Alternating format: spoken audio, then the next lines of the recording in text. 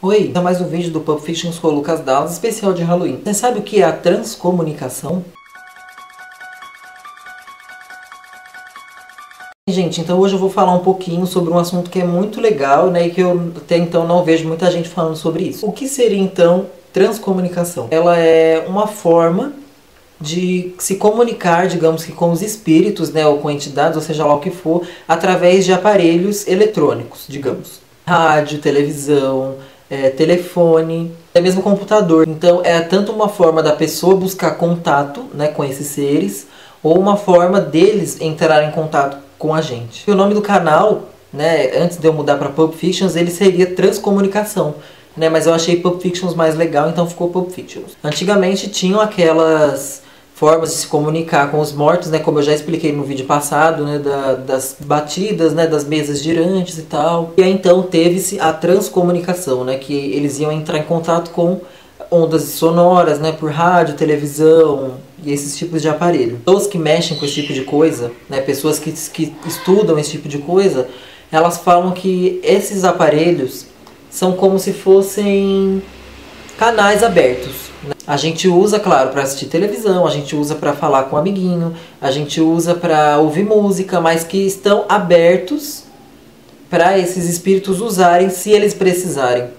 Né? Então, por exemplo, surge uma necessidade muito grande de uma comunicação né? de, um, de uma certa entidade para uma pessoa ainda viva. Então, essa entidade vai usar o que? Um canal aberto. Usar, por exemplo, a televisão ou rádio. Tanto que alguns médios né, e alguns parapsicólogos eles usam rádios né, para tentar ouvir alguma coisa, alguma resposta do outro lado. Então, gente, transcomunicação não é balela que eu estou inventando aqui, sabe? Que eu, que eu peguei de alguma religião que não tem nada a ver.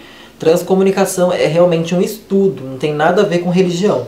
E a partir daí vão surgindo vários relatos, né, de por exemplo, pessoas que estavam assistindo televisão, né, tem um relato de uma mulher que eu li uma vez na internet, que ela falou que ela estava assistindo televisão e aí do nada deu uma piscada a televisão, deu uma interferência lá e ela conseguiu ver o rosto do marido dela.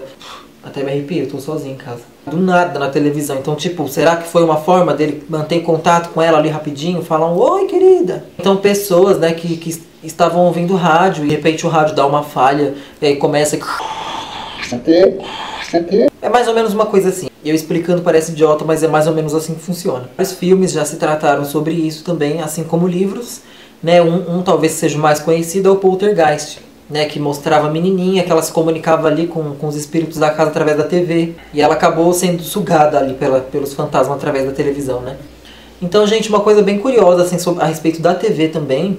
Boatos circulam, né? A TV ela não foi inventada só por uma pessoa, foram várias pessoas, né?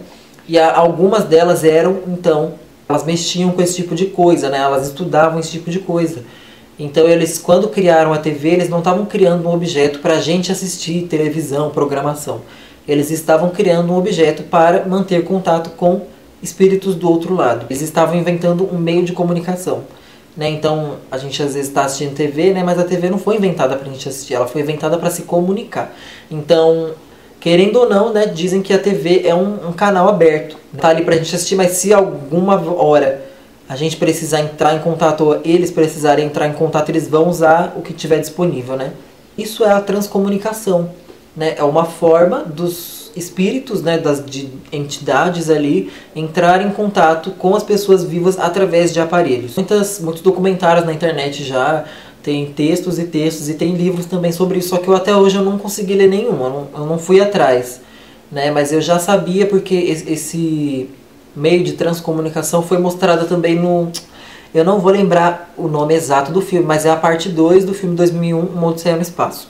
Eu, não, eu acho que é 2016 o ano que faremos contato, eu acho.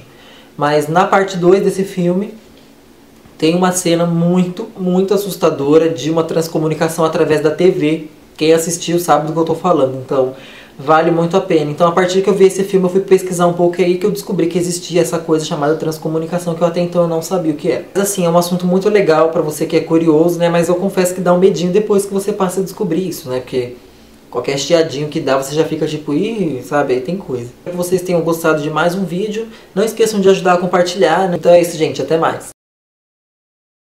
O mês do Halloween já está acabando, infelizmente, né? Felizmente pra mim, porque eu já não aguento mais postar vídeo todo dia. Meu Deus, que trabalho que dá pra ficar editando vídeo, gente. Acho que eu vou, usar meu computador pra me comunicar com os espíritos para eles editarem os vídeos para mim, porque tá difícil, tá tenso.